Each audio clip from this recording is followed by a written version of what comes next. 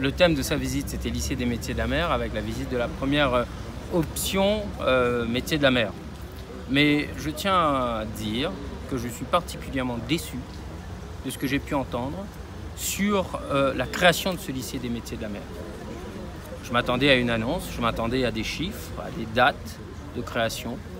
Au final, j'ai entendu parler de beaucoup de choses, de cette première option qui est une très bonne chose, mais je n'ai pas entendu la région nous parler de la création de ce lycée des métiers de la mer. Et là-dessus, je suis inquiet. Parce qu'on nous parle souvent de la possibilité de former, de la nécessité de former rapidement des jeunes.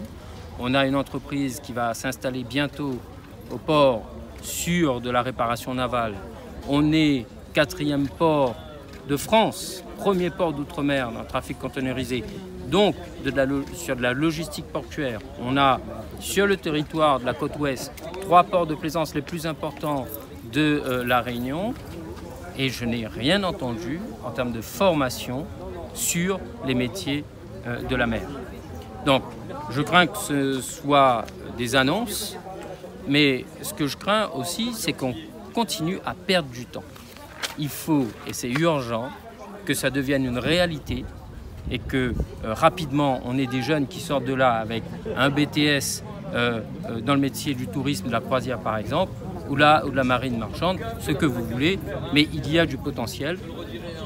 Je mets encore une fois dans cette visite un peu d'espoir quand même pour dire le ministre va en référer au Premier ministre et au Président de la République.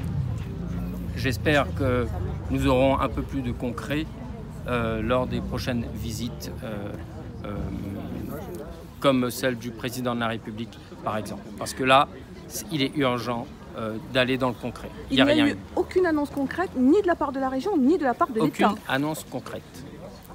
Sur, un, sur, sur, sur une date d'ouverture, on y travaille, on y travaille. on, on, y travaille avant 2015.